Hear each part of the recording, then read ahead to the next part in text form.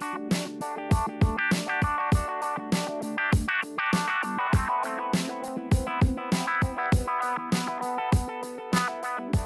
were involved with mentor education in its inception in 17 years, and certainly the online education space and the way it's delivered has changed a lot since then.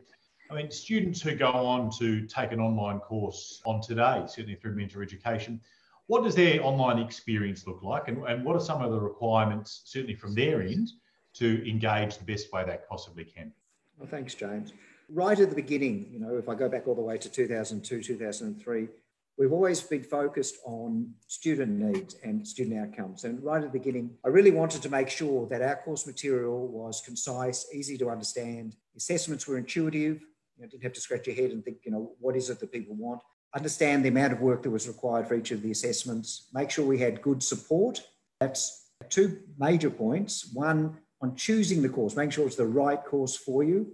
So we've got a really highly skilled education advice team that really wants to know what your outcomes are and help you decide, and look at the options and decide what is the very best course for me to achieve my objectives over the timeline or the time frame. The next stage, of course, is once you enroll, you've got access to learning management system, which you can see in front of you. It needs to be intuitive, easy to understand. But look, when you do get stuck and you need support, it's there for you. And equally, when you submit something, right, you want some feedback. Equally, you want, you know, if you need to improve in a particular area, you want to just understand how that's going to be done. So look, it's really about making sure that the student experience throughout the whole student life cycle is a quality one at each one of the touch points, each one of the moments where, you know, sometimes you can get frustration. We work really hard to try to reduce those points. Doesn't mean we've got it perfect. And there's, you know, we're always really keen to get feedback from students where we can improve in different areas.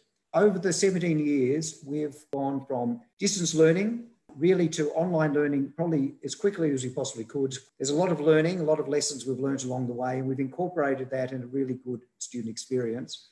And yeah, I think we're really pretty proud of the process and it gives good outcomes. You know, the completion rate that we've got for our programs is pushing on the 90%, which is really quite exciting. And equally the job outcomes, which means that the courses are relevant, you know, and it's what the industry wants and it, it helps achieve our goals of you know, promotion or pay increase or, or moving into a new role or starting your own business, they're being achieved. So it's a great process. We make it really flexible. We allow people to start different times depending on the program. Sometimes we do work in cohorts, starting at a particular intake time. But you know, we do try to make it flexible and we do give good support.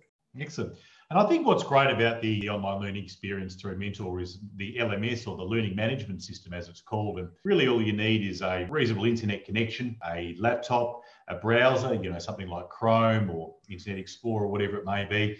You log into a website, and all of the information in your assessments are there for you. If you're commuting, or you know, there might be times that you want to do a little bit of reading in bed or on the couch, it does also link in with your uh, tablet or your phone there as well. So, I mean, certainly the laptop is going to be the preferred platform or the PC for typing up assignments or whatever it may be. But certainly being able to do the reading on multiple devices is a real advantage there as well when it comes to the online learning experience. And what's more, you can do it in your own time, and that could be three in the morning or 10 o'clock at night.